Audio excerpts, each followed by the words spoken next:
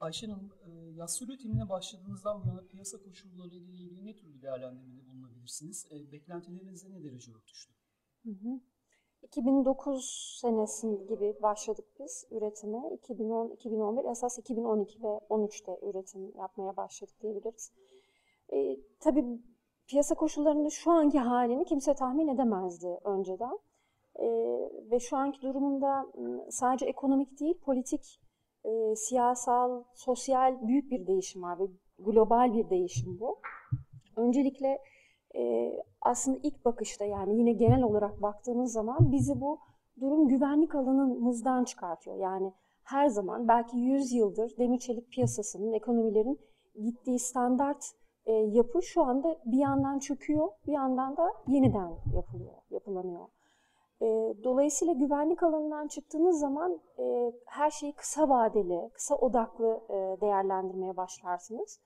E, ve böyle bir dönemde de hem alıcı için hem üretici için e, risk iştahı e, açık değildir. E, dolayısıyla minimum riskle, e, minimum e, tonajlarla, olabilecek en yüksek marjlarla hareket etmeye çalışırız.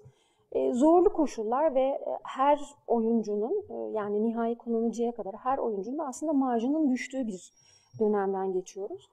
Tüketim şu anda azalıyor. Bütün dünyada azalıyor. Ama buna azalmak demiyorum ben. Daha çok daralmak diyorum. Biraz önce söylediğim gibi aynı miktarda tüketimi yapıyor olabilir. Aynı tonajı yapıyor olabilir ama diyelim ki aracıysa hatta sanayici ise çok daha kısa vadelerde alıp çok daha çabuk şekilde döndürmeye çalışıyor. Bu yapı bozukluğudur. Yani eskinin rahatlığı yoktur. Uzun vadeli, orta vadeli bakış açısı yoktur. Tonajları aynı olsa bile bazı sektörlerde farklı bakış açısına sahibiz şu anda ve riski de minimumda tutmaya çalışıyoruz. Tabii yine talep daralırken, azalmasa bile daralırken yatırım iştahı da azalır yine kısa vadeliye odaklı olduğumuz için.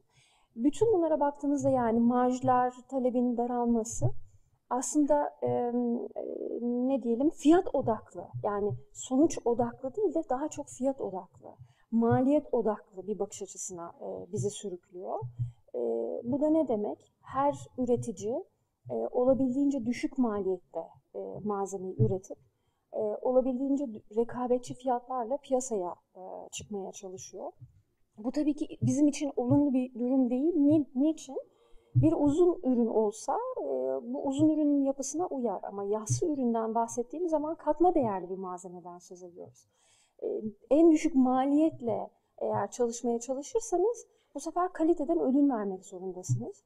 E, MMK olarak biz bunu kesinlikle yapmıyoruz. Dolayısıyla e, stratejimiz biraz daha değişti. Yani biz e, daha e, ne diyeyim fiyat odaklıdan çıkıp biraz daha kalitemizi biraz daha değil yani standartımızı koruyup e, daha insan odaklı, müşteri odaklı, piyasa odaklı, daha orta vadeli stratejilere kaymaya başladık.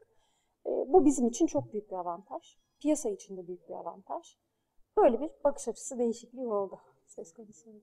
BMK olarak e, bu bahsettiğiniz e, mevcut koşulların dışında geleceğe dönüp baktığınızda kısa, orta, uzun vadede yassı çelik piyasasını nasıl öngörüyorsunuz bu durumda? E, bir de bu süreçlerde özellikle yapılmasını öngördüğünüz detaylar var mı? Kesinlikle var. Ee, kısa, orta ve uzun vadeli süreçler eskiden birbirine çok yakın süreçlerdi. E, birbirini izlerdi. Şimdi bunlar aslında tamamen ayrıldı. Niçin? Kısa vadede artık hayatta kal e, modundayız hepimiz. E, ya ayakta kal bile değil, hayatta kal modundayız artık. Bu ne gerektiriyor? Esneklik gerektiriyor. Yapısal esneklik gerektiriyor. Yani bütün çalışanların ve bütün işletmenin piyasaya, piyasadaki değişimlere ayak uyduracak kadar e, hareket kabiliyetine sahip olmasını gerektiriyor. Bu ne demek? E, ihtiyaç olduğu anda diyelim ki bir ürünün e, kapasitesini kısıp diğer ürüne daha fazla yüklenmek.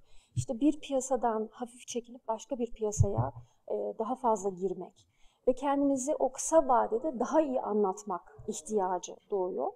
Bu çok önemli. Orta vadede ise yine bunun e, uzantısı olarak daha iyi anlamalıyız. Ee, piyasayı daha iyi anlamalıyız. Ee, hızlı karar vermeliyiz ve çok kalıcı stratejiler e, uygulamalıyız. E, planlamalı ve uygulamalıyız. Bunun için de ciddi bir inisiyatif gerektiriyor. İnisiyatif sadece genel bir genel müdüre sahip sahip olabileceği bir şey değildir. Bütün çalışanların sahip olabileceği, olması gereken bir şeydir.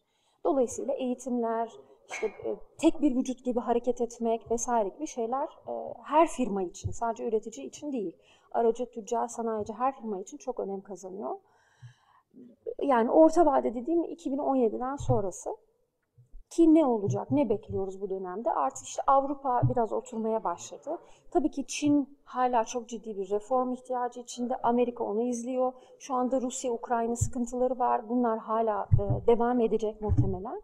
Ama diğer yandan da mesela en son haber e, Kore ve Japonya e, gelişmekte olan ülkeler kategorisinden gelişmiş ülkeler kategorisine çıkartıldı. Bunun anlamı nedir? Orada var olan yatırım, sıcak para e, gelişmekte olan ülkelere akacak.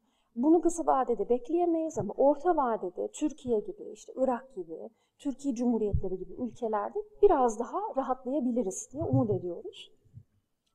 İşte 2020, 23, 25'ten sonra uzun vadeli baktığımızda da bu bahsettiğimiz yani şimdiden hazırlığını MMK olarak da yapmaya başladığımız bu yeniden yapılanma, inisiyatifi ele alma, tek vücut şeklinde stratejilere doğru hareket etme kısmını artık uygulayıp anlatmak kısmına geçiyor olacağız. İyi bir dönem beklediğini de düşünüyorum ondan sonra da biz. Çok teşekkür ederiz. Ben teşekkür ederim.